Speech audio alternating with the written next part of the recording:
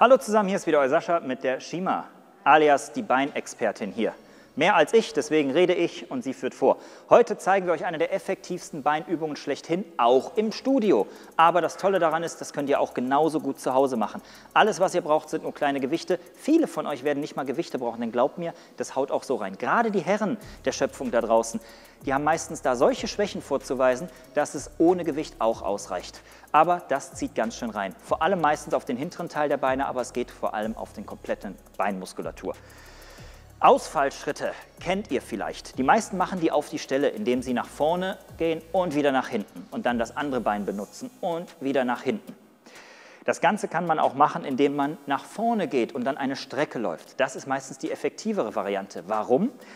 Weil ich nur über ein Bein die ganze Kraft hole und hochgehe. Ich gehe nach vorne und das hintere sollte möglichst nur noch zur Stütze sein, nur noch für das Gleichgewicht und ich mache beinahe eine einbeinige Kniebeuge von hier an. Das sieht man vor allem dann und kann sich so selbst das merken, wenn ich nach vorne gehe und das hintere Bein auf den Zehenspitzen nur nachziehe und über den Boden schleife. Dann kann ich mich da nicht besonders drauf stützen. Wenn ihr etwas macht, was in der Körpermitte bereits hochgeht und ihr nehmt die Kraft auch noch mit aus dem anderen Bein, ist das weniger der Fall. Das Schöne ist, ihr könnt es trotzdem variieren. Das eine ist nicht falsch und das andere ist nicht richtig.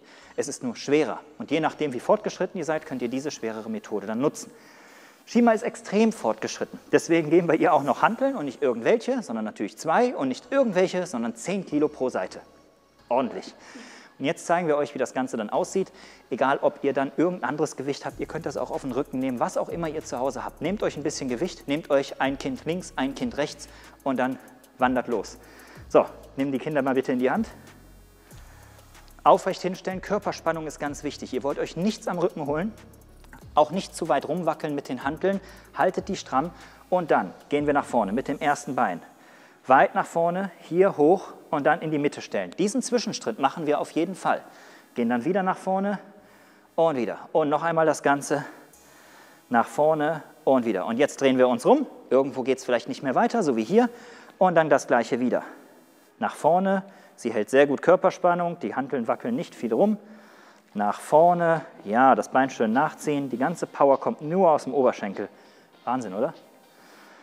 Geht doch gut. Jetzt darfst du die Hanteln auch ablegen. Hat sie zeitgleich auch ein bisschen was für den Nacken gemacht. Das Schöne ist, das ist eine Ganzkörperübung irgendwo auch, weil ihr natürlich die Hanteln in der Hand haltet. Glaubt mir, ihr werdet monsterfit damit. Das gleiche machen wir gleich noch mit ihr als Test, einfach nur mit 30 Kilo pro Seite und guckt mal, wie sie sich schlägt. Bis dahin schaut euch gerne die anderen Videos an, die wir gemacht haben, wie man die Maschinen ersetzt. Ganz wichtig dabei, ihr könnt weiterhin mit hohen Gewichten trainieren und müsst nicht auf einmal zu Hause auf Aerobic-Kurse nur noch setzen. Wir zeigen jetzt ein wenig mehr für Beine und euren Hintern-Workout, den Gluteus. Mit euren Lieblingsübungen, vor allem nehmen wir heute den hinteren Teil des Beins, des Beinbizeps und zeigen euch da ein paar Übungen und dafür braucht ihr auch wieder nur ein Widerstandsband. Und zwar ein relativ leichtes reicht schon und das sogar bei Profis in dieser Muskulatur.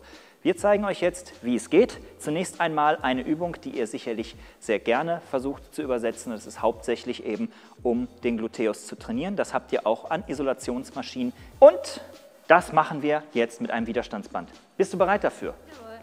Wir haben jetzt natürlich eine super Voraussetzung hier, weil wir diesen Cage haben. Da kann man das überall dran festmachen. Zu Hause müsst ihr ein bisschen improvisieren, aber ich wette, ihr findet was. Spätestens, wenn ihr es unter einer Tür hindurchschiebt und dann an einer Tür festmacht, irgendwo werdet ihr etwas finden. Aber versucht nicht, eure Möbel zu verrücken. Wir haben jetzt hier diese Lücke gefunden und ich assistiere mal ein wenig. Rückwärts dazu aufstellen. Sie kann sich jetzt hier auch noch super festhalten. Wenn ihr euch irgendwo zusätzlich festhalten könnt, dann wäre das gut. Sollte das aber nicht möglich sein, müsst ihr es eben etwas weiter ausbalancieren. Aber spätestens, dass ihr euch vielleicht irgendwo auflehnen könnt, das wäre eine ganz gute Sache. Und dann etwas unter Spannung halten. Sie stellt sich jetzt idealerweise genauso hin, dass sie das schon unter Spannung hat, wenn sie ihr Bein einfach nur gerade nach unten zeigen lässt. Und dann nach hinten, soweit es geht, halten, nicht wieder schnacken lassen und dann langsam nach vorne. Wieder nach hinten, maximal anspannen, auch hier Rücken durch, das ist ganz gut, so soll es sein, eine stabile Haltung und wieder zurück. Anspannen und wieder zurück. Und das machen wir dann so oft es geht. Wenn ihr das 10, 12, 13, 14 Mal schafft, könnt ihr auch ganz gerne ein stärkeres Widerstandsband nehmen und habt dann ein bisschen mehr Power dahinter. Klappt aber so ganz gut, ja? Ja. Das ist eine Variante. Diesmal geht es ein wenig mehr auf den Beinbizeps, den hinteren Anteil eures Beins. Und wir werden austreten. Ja, im Prinzip wirklich wie ein Pferd, das nach hinten hin austritt. Und das machen wir wieder mit einem Widerstandsband. Ein relativ leichtes haben wir dafür gewählt, wird trotzdem eine ziemlich harte Übung sein. Und das werdet ihr gleich merken, selbst bei einem Profi, der diese Übung normalerweise an den Geräten gut beherrscht. Und damit könnt ihr komplett ein Gerät ersetzen.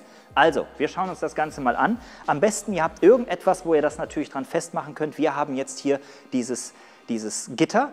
Und da können wir es natürlich überall dran festmachen. Das ist ein ziemlicher Luxus. Zu Hause müsst ihr ein bisschen improvisieren. Guckt mal, wo ihr es dran festmachen könnt, ob es jetzt eine Heizung ist, aber bitte nicht rausreißen, oder ob es jetzt irgendwo unter einer Tür hindurch ist.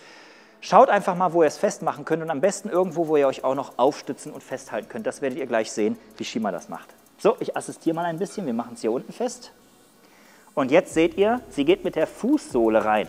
Das heißt mit der Fußsohle dran und diesmal nicht um das Gelenk herum. Das heißt, ihr müsst auch die Spannung halten und es auch gerade halten, denn wenn sie das jetzt abflacht, dann schnackt das natürlich zurück. Und jetzt geht's los. Rücken gerade dabei und nach hinten austreten, soweit es geht, bis zur Streckung. Ja, und wieder zurück. Langsam immer zurück. Strecken, halten und langsam zurück. Strecken, nach hinten, richtig nach hinten, genau, und langsam zurück. Ihr seht, das ist recht wackelig, obwohl sie eine starke Muskulatur hat. Das liegt daran, dass ganz viele kleine Hilfsmuskeln aktiviert werden, weil das natürlich nicht ein fester Widerstand ist wie sonst an den Geräten. Das ist aber etwa kein Nachteil, sondern ein Riesenvorteil, denn ihr werdet Muskeln ausbilden, die sonst nicht aktiviert werden und kommt vielleicht sogar, wenn ihr wieder ins Studio könnt, stärker zurück.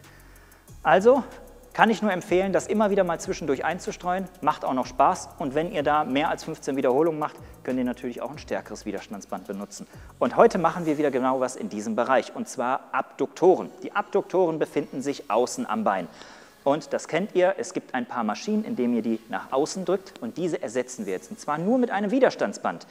Dafür reicht ein relativ leichtes. Das hier ist kein besonders schweres. Und damit drückt ihr das Ganze einfach nur nach außen. Gewusst wie?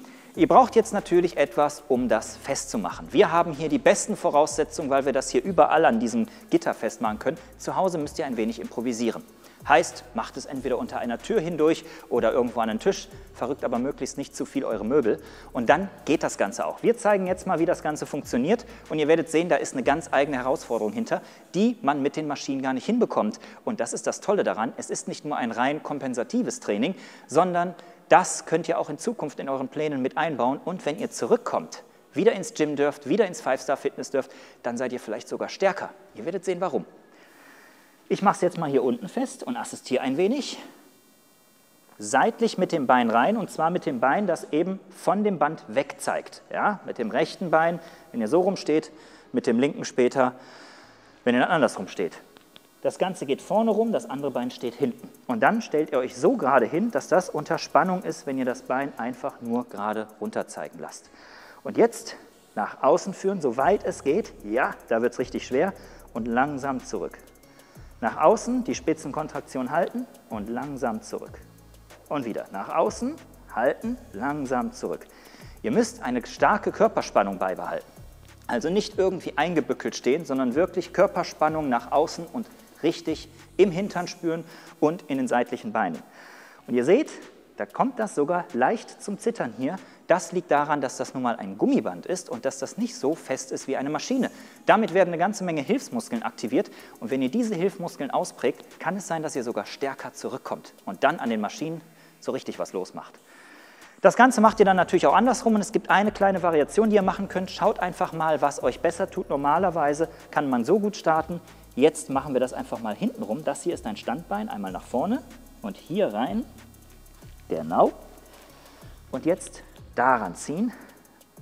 Es kann sein, dass sich das für manche von euch besser anfühlt. Schaut einfach mal, beide Variationen reinbringen. Wieder hoch in die Spitzenkontraktion halten. Ja, das ist ordentlich schwer. Nehmt euch ruhig ein leichteres Band dafür. Danke sehr.